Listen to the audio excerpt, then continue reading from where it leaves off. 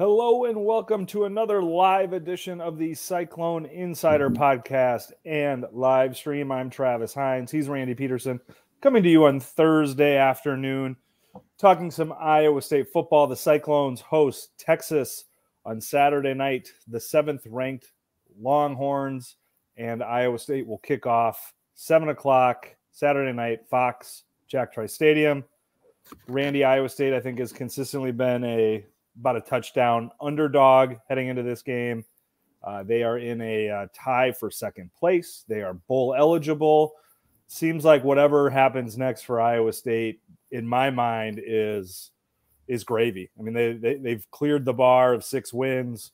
They are in the hunt for the Big 12 title game into the last two weeks of the year. For this young group, with the gambling probe over the summer costing them five starters, whatever they achieve from here is extra, right? It's a bonus. This is what it seems like to me. Yeah, exactly. I mean, anybody that that figured Iowa State would would be in in bowl, um, it had the have the qualifying number to, to play in a bowl with two games remaining. I think that was. I mean, Iowa State's had better teams than this, and have they've not been bowl game have have two game luxury like that. But uh, yeah, I mean it's it's now gravy, like you like you said. Um, I, I look at it like this: if Iowa State can can beat Kansas or can beat um, Texas, Matt Campbell's Big Twelve Coach of the Year, and then we move on from there. But um, yeah, and then and then the, the Kansas State game coming up, and the, the, there's there's all kinds of possibilities to be what happens if they're two and zero. Oh. But for Iowa State to be to be where they are with, like you said, with a first year starting quarterback, with so many, with more freshmen starting than seniors, freshmen and redshirt freshmen starting than seniors. Yeah, this has been a pretty phenomenal, um, um, pretty phenomenal story. And to be quite honest with you, in my mind, Iowa State is fun to watch again. It's fun to watch it's fun to watch the games again. Last year it, it was it was it was agony, but but this year, except for okay, except for the Ohio game, it's it's it's fun to watch.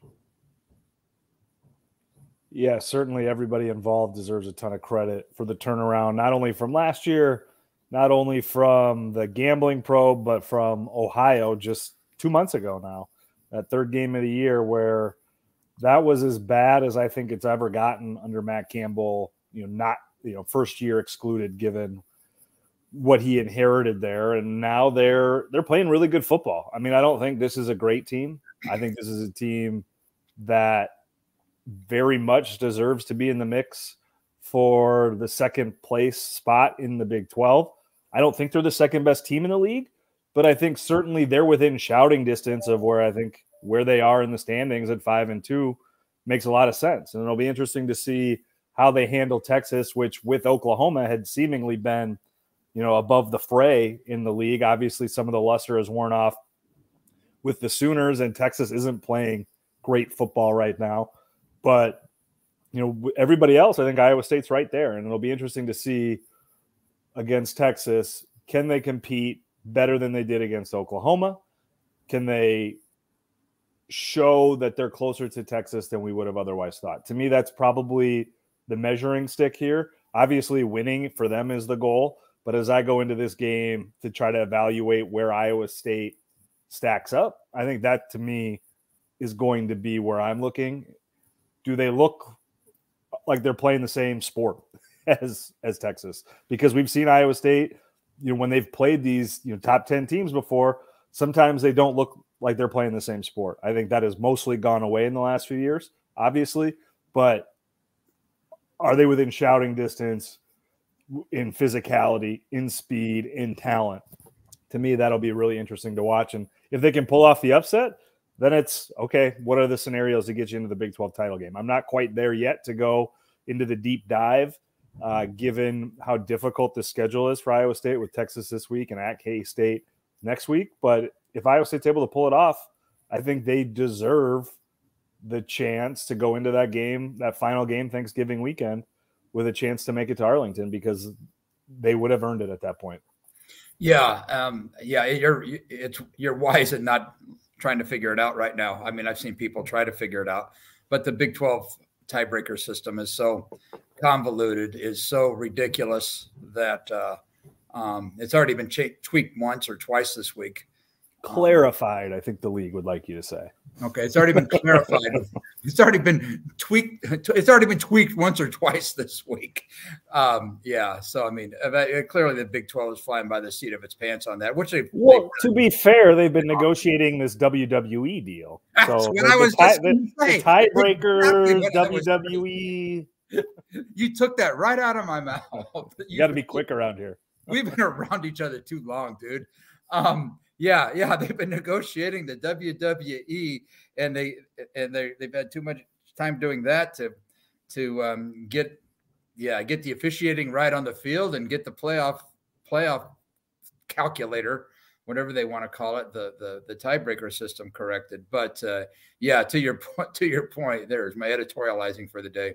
To your point um, yeah th- this is i it, it's it's not to the point where Iowa State controls its own destiny, but in a way, Iowa State controls part of its destiny because Iowa State's destiny is not going to be the Big 12 championship game if it doesn't go 2 0. Um, so yeah, I mean, Iowa State. That you made a great point, Travis, and you said that is Iowa State playing the same sport? And yes, we have seen in in years past where Iowa State is not playing the same sport as Texas or Oklahoma.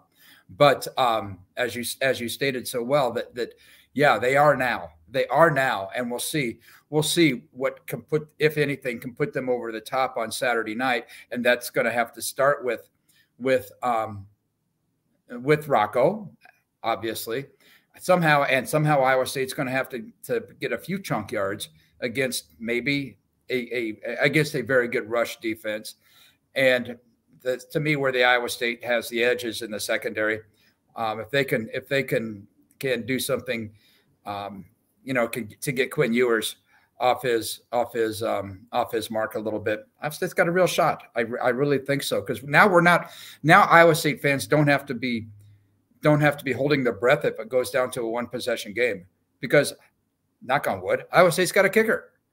So um, yeah, I, I, I think Iowa State's got a got a great chance um, um, Friday or Saturday night, and the crowd's going to be jacked. Senior night. Um, be, I'm sure they'll have the fireworks blaring out. So yeah, it's it's it's going to be fun again. You mentioned the uh, the secondary. Jeremiah Cooper may or may not play. Kind of heard the same version of this from Campbell the last three weeks, although he was maybe a little bit more uh, clear in saying that Cooper was on the path to play on Saturday take that for what it's worth, given Campbell and injuries. And it certainly would not uh, be unheard of for him to just be saying things to make Texas think that Jeremiah Cooper would play, even if he's not, especially considering how much we've seen opposing offenses immediately attack that spot when he's not on the field uh, because of injury. Without Cooper, I worry about that Iowa State secondary. With them, I think it's the strength that you talked about, and you know we'll see. Uh, you know, probably about five or six o'clock on Saturday if Cooper is going to play. And that that's the other thing here is that he's gone through warm up or he went through warm ups on Saturday this last week at BYU and did not play. It's pretty atypical for a player to make a trip, get dressed in pads for the whole game and not play. So I would tend to think that Cooper was pretty close, but I also again wouldn't put it past Iowa State to be playing some games uh, with his availability. And this is one of those situations where I think they would do that because there is a drop off there. Okay, Jamison Patton intercepted a pass, um, last whatever last Saturday with about two minutes left in a thirty point game. Exactly. From a I don't even I don't even know who the quarterback was, but I assume it wasn't Retzlaff. Um, yes, exactly. But but good for good for Jamo. He he caught the he, he intercepted pass and returned it thirty whatever thirty yards or so. But um, yeah, it, it's uh they've they've certainly picked on on on that position. So Jeremiah Cooper is a is a big factor back there, maybe the biggest factor as far as the secondary is concerned on Saturday because because it's a good secondary. What do they have? 17, 15, 16, 17 interceptions. Um, and Ewers certainly isn't isn't uh, isn't mobile. So I think I think this is a pretty good matchup for Iowa State. Somebody people have been asking, will Iowa State put the pressure on on Ewers? And Iowa State's not really a big pressure team anyway in that in that respect. So I think Iowa State will probably play it pretty close to the vest, like they have in the past, and and and pick up that slack in the in the in the secondary. But that that to me that's the the biggest part of the game. And like I said, Iowa State needs to get some chunk yards also because they're not going to rush the ball great, but they need to get you know a, a few a few yards at least. You mentioned if Iowa State wins, you think Campbell is the coach of the year in the yeah. Big 12, and I don't think I disagree. I think a couple weeks ago you wrote that this could be Matt Campbell's best coaching job. Mm-hmm. I think 2020, not only for the success, but given how they had to navigate all the COVID restrictions, still stands out as his best job to me. They win on Saturday and they go into K State with a chance to make the Big 12 title game. I, I, think you start to have a conversation there, at least on my end, of is does this supersede 2020 in terms of what they've overcome? I don't know that they can get there, but I think if they win Saturday against a top 10 team with a pretty direct path to the college football playoff. I, I think that you, you can legitimately start to have that conversation um, without caveating anything too much there because uh, it would be pretty remarkable considering where they came from to where they would be at that situation. I, I, would anticipate Texas winning on Saturday, yeah. but certainly I do think it's probably going to be a pretty closely contested game uh, on Saturday night is kind of my feel for this game. Yeah, Texas. Let's not forget that, that Texas still has has a great shot at, at, being in the college football playoffs.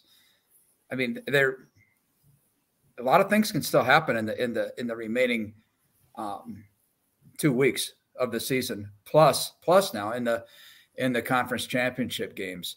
So so Texas still has has a lot on the line. Texas also has a true freshman running back because their their their their number one running back, who was a thousand yard rusher already, he's he's out.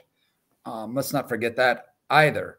So the if I if if I don't know how things could line up any better for for Iowa State um, in the, in the in this game. They're playing. They're at the top of their game right now, um, and they're playing a team that that obviously is is is uh, has more on its has more uh, more of a goal than just winning the Big 12 conference championship. So I, I, think this I think it's got the potential to be, like you said, to be a a a great game, and I think it could be a very entertaining game as well.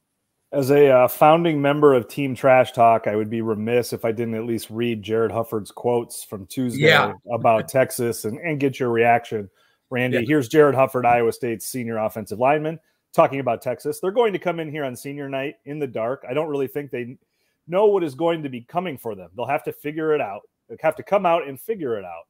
We have a distaste in our mouth for them. Definitely want to send them off to the SEC with a loss on our end. Ever since I got here, it was Iowa and Texas. That was kind of the thing. The horns down all the time. That program, much like Oklahoma, they get all the five star recruits. They have the nicest stuff in the world, and they think that they don't stink. They're just humans, and that's how I see them. They're just people that have such a high ego that needs to be checked. I think you left out a word there, didn't you? um, there were there something uh, he, said, about... he said that that they don't stink. I think he self edited there. Yeah. Okay. Okay. I got you. Okay. Okay. yeah. I was sorry I missed that. I was talking to Rocco or something at that point in time, but yeah. Um, I don't know where I don't know where to start start with that. I, I, do you think Campbell rolled his eyes when he saw that? I don't. I do not. No, well, and like as it was happening, Jarrod Hufford. I mean, we've spoken to him, yeah, you know, plenty of times over the years. Not exactly the most boastful, most trash talking player on that team or that we've ever encountered. Um, so it felt very. It felt like he showed up with something to say, and he he got the chance to say it. Well, um, I, I, and and like who cares? Let like talk all talk all exactly. your junk. I love talk it. all your junk. And let's not forget that, yeah, but that that question was posed, I think, with the hope, not not posed by anybody in the print media, was posed by Okay, I okay, I, I caught the beginning of that. Okay, I caught the beginning of that then. Uh, Freund just asked Mark Freund, our colleague from WHO, asked yeah the the thoughts with them leaving, and that was when he said the distaste part, and I said, "Could you follow up on that?" What well, of course you're going to ask him to follow up on it. Yeah, he was already he was already into it. Yes. Like I said, I think he wanted to say something. You just gave him an Yeah, that's that's true, yeah. and and good enough for him. Um, I mean, he just told the truth, by the way. Like that, that's, exactly that's what, they think. That's what the rest of the league thinks. And to one degree or another, that's what Texas is. And, and it's probably a little overblown, but I know, think that, Campbell probably high fived him. I think Campbell probably high fived him. I think no, I do. I think I think that was great. Um, I gotta think Campbell was was maybe a trash talker back in his days at Mount Union. Um, I know we don't get that get that opinion, get that uh, impression now, but um, I, I, I I laugh, and I'm kind of digressing here, but I laughed, and I towards the end of the press conference last Tuesday, Campbell said something about he about um, he's been able to, you know, his team has been able to keep an even keel, um, you know, not being real demonstrative, non demonstrative on the sidelines. And then as Campbell was walking off the off the podium, I I I, I um, challenged him on that because Campbell is as demonstrative this year as I've seen him. Maybe not totally since 2020. Yeah, since 2020. Yes, for sure. Um, but I think I think Campbell likes that fire. I I, I do. Um, well, and I think he's big on deserved and earned. And yeah. if somebody's going to have the uh, earn and deserved, it's going to be a fifth or sixth year offensive line, interior offensive lineman. Like, and and let's not those dudes earn not, everything they get. And if somebody, you know, if Rocco Becht would have done it, probably not thrilled about sure. it. If yeah, exactly. Norton did it, probably not wild about yeah. it. If you know one of the other younger, you know, less. Uh, guys that have done it on the field would have done it, different deal. Jarrod Hufford does it, you know, the dude gets to say what he wants. I I agree, and and we don't know exactly what goes on on the field, like in in past Iowa State Texas games. But I suspect there's there's been a certain amount of of of um, Texas players giving the giving the uh, um, um, opinion to other players that giving giving but giving the notion that that yeah they are their stuff doesn't stink. Absolutely. And there's nothing wrong with that either. There's absolutely nothing wrong with that. You don't you don't think that they're, they're going to go swimming with the sharks in next year and you don't think they don't do that in the sec oh my gosh. Of course they do so i don't see anything wrong with that college football needs more of that or college basketball needs more of that um, in my estimation, as long as it doesn't lead to anything, um, you know, Draymond Green like. They they need they need stuff like that. They need to liven up the the sports a little bit, and and nothing wrong with that. More trash talking, less headlocking. Heard it here first from Randy Peterson on the Cyclone Insider podcast and live yeah. stream. I think that's about all we've got for today. Iowa State, Texas. 7 p.m. Fox Jack Trice Stadium, senior night, Iowa State's final home game of a successful 2023 season. And then uh, I will be, I don't know, Ranger, you're going to the game on Sunday as well. The men play at yeah. Hilton Coliseum at noon on Sunday in their last game before heading to Orlando in the ESPN Events Invitational, the very prestigiously and lazily named ESPN Events Invitational. Uh, so be sure to check out Des Moines Register.com for all the coverage of Iowa State sports you could possibly ever hope for or imagine. He's Randy. I'm Travis. Thanks for watching. Thanks for listening. We'll catch you.